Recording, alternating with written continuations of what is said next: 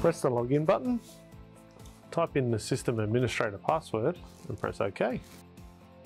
Press the settings button, press customize apps, press copy,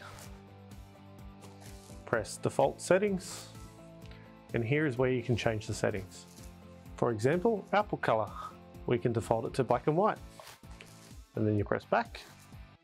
We can also set the default to one-sided copies by pressing two-sided, changing from the drop-down menu to one-to-one, hitting back.